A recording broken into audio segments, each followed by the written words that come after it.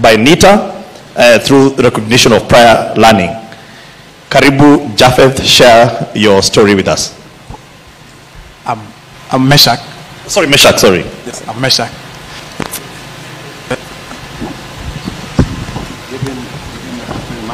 Thank you, Your Excellency.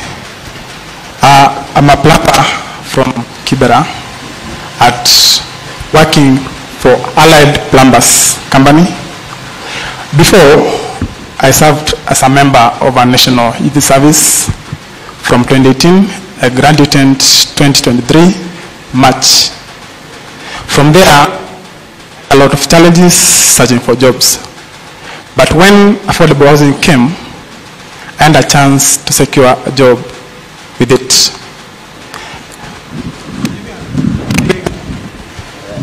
Giving example, giving out this example of mine, there are a lot of youths vijana pale mtaani wanasava kutafuta job, na wakati hii affordable housing ilikuja, ilisaidia baadhi yetu. wezipata kijana ametoka mtaa ameenda kukaa hivyo bure, lakini saa ile wakati pale site ako na chazi ya, ya kufanya job. For me, I can say that it's a chance that made me to be who I am. I'm a recognized plumber. When NITA came in, I did, they the assessment and I was assessed. They have called us recently to, telling us that there will be graduation this coming Friday, whereby we are supposed to go and get our certificates. Before, I went to Eldoret National Polytechnic, where I did craft certificate in plumbing. So when NITA came in, they did an advantage to me. Yes. Thank you very much uh, Meshak. So unafanya kazi pale Kibra? Yes, I'm at Kibra. Nilikuwa pale juzi Yes, na naona mmesukuma kusukuma. kabisa. Yeah? Yeah. Hiyo site yenu uh, mko plumbers wengi, kuna carpenters, Ndio. kuna electricians, Yes. kuna masons Yes. pale Still na kila mtu eh? Yeah. na still fixers eh? Yes. ama umesema Yes, still fixers. eh, wako pale Kabisa. so nakuuliza um, eh, Meshak Yes, sir. kwa sababu program hii ya affordable housing pia inakupatia nafasi ya ajira, lakini vile vile unajua pale tunajenga social houses mm-hmm. Sijui kama umepata kuelezwa hiyo social houses na vile unaweza wewe kama plumber ukasave pesa, hiyo nyumba ikiwa tayari, wewe pia unaweza kununua. Uko na hiyo habari? Yes, iko. mm -hmm. Yeah. Are you doing something about it? Yes, we're planning and we have started doing it as the plumbers on site already. Yes. Yeah. So you're planning to occup to uh, be part of the people who will occupy those houses. Those houses that are Just there. so that I explain to you that um, because housing for a very long time was about big people, people who can afford, people who have uh, big jobs, or, or so they think. But this time round, we said in the building of houses, we want to make sure that we are sensitive to the strata of our society.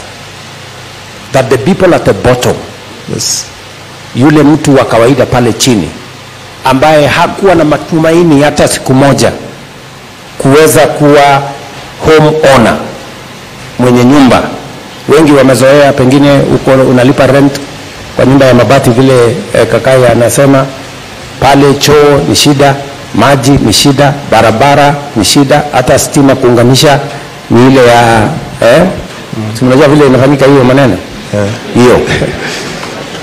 so na saa zingine inatupatia matatizo ina, inalete madhara lakini sasa tumeamua ya kwamba pale kutapatikana na nyumba unalipa, unalipa rent mahali unaishi eh, mesha kama shilingi ngapi?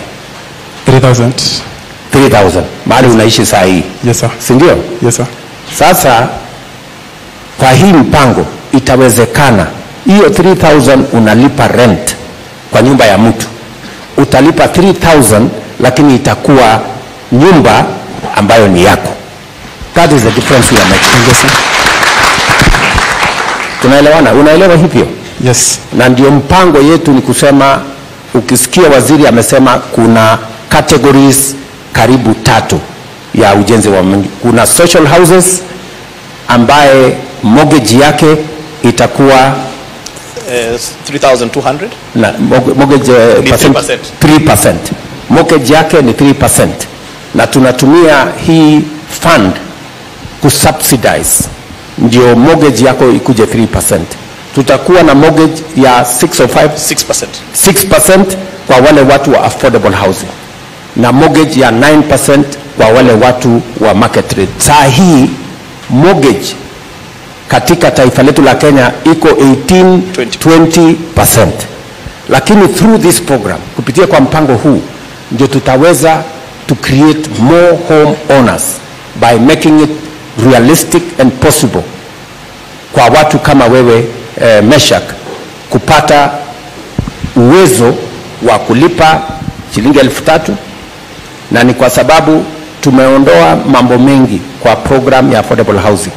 Tumeleta ardhi kama serikali, tumeleta services kama serikali, tumeleta um, eh, design kama serikali. Ile eh, pesa nyingi ilikuwa inatumika kulipa ardhi, kulipa services, sasa tumeichukua kama serikali ndio tuweze kufikisha home ownership kwa Wakenya wengi zaidi kama vile Meshak na wale wote wameketi hapa, na vile vile watu wengi wanatuambia pengine tunachukua pesa alafu tunasaidia watu kategori moja.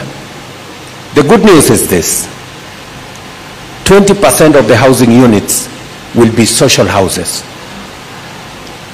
50% will be affordable houses.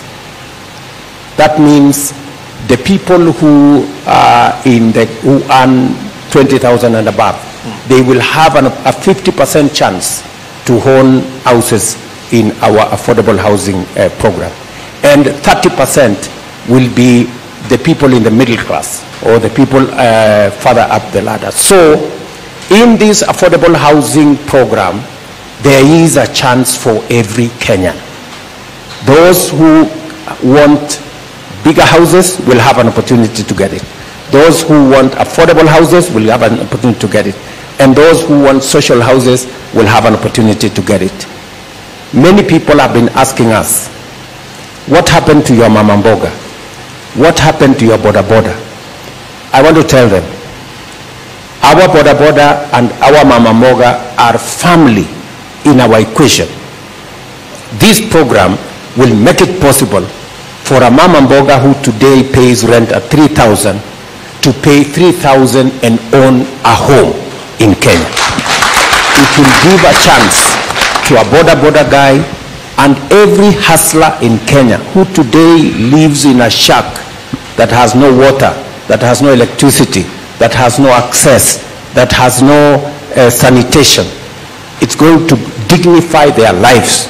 And they too, like the rest of society, can own a home. And that is why I'm very happy Meshak is part of our plan as a simple plumber. That he also is looking forward to owning a home in a decent place uh, like all other Kenyans. So Meshak, Yes, mimi naamini ya kwamba utajipanga na hiyo maneno tuko sawa kabisa eh? Tuko imara. Usini let down please. hatuwezi Eh? hatuwezi Eh, usi, pesa usichukue yote una save Mm. kila siku. Kwa hiyo elfu moja unalipwa, nafikiri elfu moja na kitu hapo. Kwa hiyo elfu moja unalipwa, chukua mia moja weka kwa boma yangu ndio pale mbele, nitakusote asante sawa. asante Thank you. thank you Thank you, thank you very much, Your Excellency. Um, the Holy Scriptures, Your Excellency, says that um, when I was hungry and I came to you, you did not give me something to eat. And the person in the parable asked, But Lord, I didn't see you. Obed Matongo is a construction worker at our Mukuru site. He does work at the scaffolding. Obed, Yes. wataongea Swahili. Obed anajua kulala njani nini, Your Excellency.